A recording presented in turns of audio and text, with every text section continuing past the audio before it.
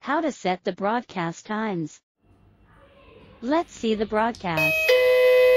三楼呼叫， It's broadcast one time now. Let's change it to 设 three 置提 times. 示音乐 Press，function 请自动 button. 器密 Use 码 up 提 and 示音 down 乐 to 场。 choose F5.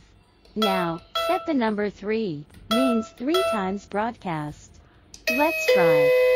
三楼呼叫，三楼呼叫，三楼 See, 呼 it will broadcast 3 times now.